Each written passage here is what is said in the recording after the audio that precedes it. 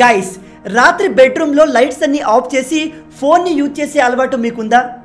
ఉంటే అది చాలా డేంజరస్ హైదరాబాద్కు చెందిన మంజు అనే మహిళ చీకట్లో స్మార్ట్ ఫోన్ని అధికంగా యూజ్ చేస్తున్న కారణంగా తన కంటి చూపును కోల్పోయింది.